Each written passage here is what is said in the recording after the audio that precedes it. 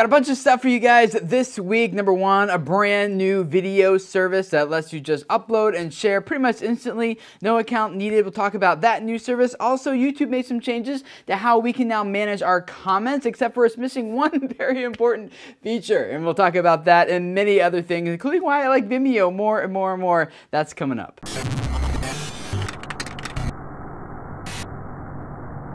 Hey guys, my name is Tim Schmoyer and it's Tuesday, which means it's time to look at some online video news from last week and talk about the implications it has for us as creators here on YouTube and any other platform that we're working on. And one of the new platforms I want to introduce you guys to, in fact, I haven't seen anyone talk about this, so I do believe I'm the first one to kind of put this out there, is vid.me. Now I know there are lots of new video platforms kind of springing up all the time. Some of them trying to compete directly with YouTube, others just kind of trying to take a new spin on online video. And that's what I kind of think vid.me is doing or VidMe for short. If you're familiar with the photo sharing site Imgur, basically you can just upload a photo and don't need any account, you need, need anything special, you just upload it and boom, you get a really short URL that you can instantly share and post pretty much wherever you want. And that is exactly what me is doing as well. You can just use your iPhone, use their app, or you can use their website, just upload a video, no account registration needed, and boom, and within like a couple seconds, then you have your little short URL, which you can then quickly share to Facebook or Twitter or any other social network that you would like. I decided to give it a little test because I thought it might be a valuable service for those times when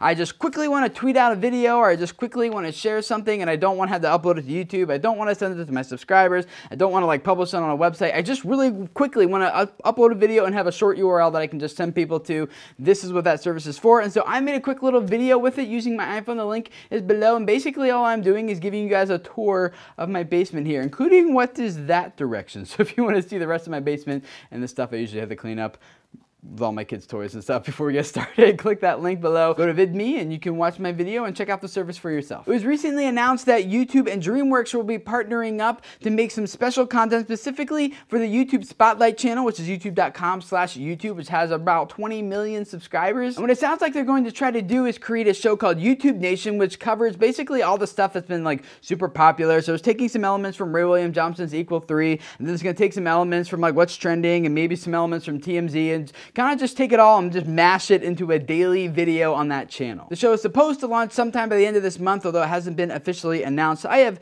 two thoughts about this. One is that this could actually be like really big with DreamWorks involved, and they're going to a channel that already has a massive subscriber base, so it could actually do really well as a show. But then the second thing I'm thinking is that YouTube, traditionally in the past with their other video efforts, has been less than stellar for some reason. Actually, I have a lot of thoughts about why, but we'll have to see how this show goes. And if you're not already subscribed to YouTube's official channel, you might want to subscribe there to kind of get a taste and a flavor of what YouTube themselves are now trying to do on YouTube. One big announcement that came out from YouTube last week that I know a lot of us are going to get very excited about and then quickly get angry about is that YouTube has conveniently put all of our comments under one place. Now just log into your YouTube channel and go to youtube.com slash comments or look at the comments section under the community tab on your channel. And there they make a nice organized list of you of all your recent comments across all your videos on your entire channel. They give you some moderation controls there, and at the top, they kind of organize it for you based on published comments, pending comments, and comments that are marked as spam. So when I first saw this, I was like, yes, this is what I've been waiting for. I've kind of just started recently getting used to all the notifications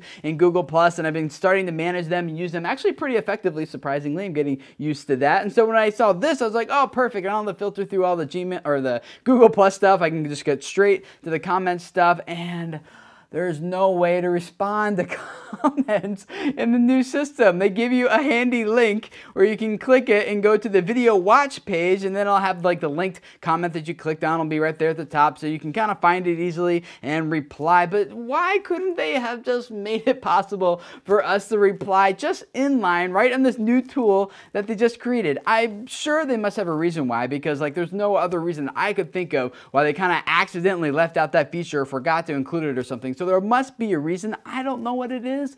If you guys have any ideas why they would admit something like that, comment below and let us know. But as a little side note, another feature that I know a lot of us have been waiting for with comments is the ability to reply and respond to them via mobile devices. And unfortunately, just going to youtube.com slash comments on your channel through a mobile device will just actually just show the desktop version of that page. But if you actually go to the watch page for your videos on your mobile device and you look at the comments, if you actually tap on the comment you want to reply to, a couple buttons show up beneath it, and the first one there is a comment reply button. Just tap on it and start typing in your reply, and now you can start keeping up with comments while you're on the go. It's not really the most easiest system to navigate because the like the notifications you get don't go directly to it, but if you just actually go to your latest video, maybe start like scrolling through comments, you can just manually keep up with some of them that way. Three quick links that I've included for you guys down there. Number one is I am really starting to like Vimeo more and more and more. They recently updated their new player, which means it like loads way faster. By way faster, I mean like I was shocked. Like I clicked on play and it was like boom, it like started playing like almost before I clicked. It was like crazy. And if you guys are trying to make some premium content that you intend to monetize on your website or something, well now pro users can also do that. You just embed the video right there on your website and people can watch the trailer. If they want to buy right there inside the video player, they can just enter in their credit card information and then actually rent or purchase your full video right there. Just overall, the updates that Vimeo is making are actually really slick. I'm really starting to like that platform more and more, not necessarily from an audience development standpoint, but mostly just from like a really great platform to host and your content if you don't need like the audience development stuff that you get here on YouTube. You can use the link below to check out more about Vimeo's updates. Another tool that is linked up down there is from Moz.com and they had a post this past week that gives you a step-by-step -step process for how to do keyword research for your videos. Well, for them, it's for your website, but you can just take the exact same principles and apply it to your videos. And the reason why I think this process is important because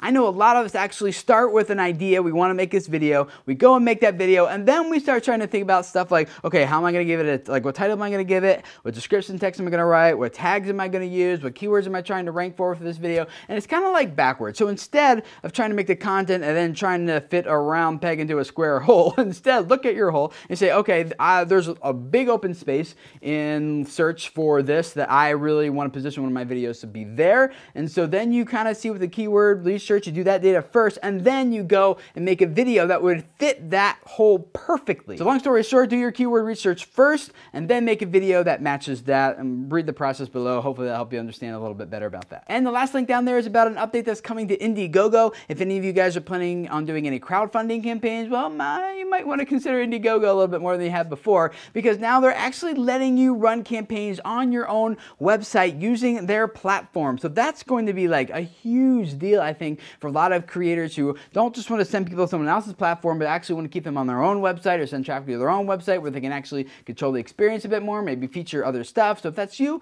check out that link below and maybe that'll have some stuff that'll be interesting and helpful for you. I would really love to hear you guys' thoughts on pretty much everything we talked about today. The new Vimeo player, if you've checked it out, and what your thoughts are on Vimeo versus YouTube. Uh, what do you think YouTube's new show is going to be like? YouTube Nation, what are your expectations and thoughts on that whole thing and the partnership with DreamWorks and all the other stuff we covered here today. If you have like tips for keyword research or whatever, all that below. And the rest of you guys, make sure you go check out those comments and I will probably be moderating them from the new youtube.com slash comments. So let us know what you think about that as well. If this is your first time here, we'd love to have you subscribe. Every Tuesday we do just what you saw here, talk about online video news and the implications it has for us as creators. And I'm talking really fast right now. And I know a lot of you guys are gonna comment and tell me to slow down, but I can't because that's how I talk to a camera. on Wednesdays, we give you guys some YouTube tips, advice, and suggestions and ideas. And, and then on Thursdays, we do some YouTube Q&A with you guys because I really believe that a lot of you guys have messages that could really change people's lives and make this world a better place if people could just hear what you have to say. So thank you for letting me be a part of helping you guys grow your audiences and spread your messages here. Subscribe, and I will see you guys again tomorrow.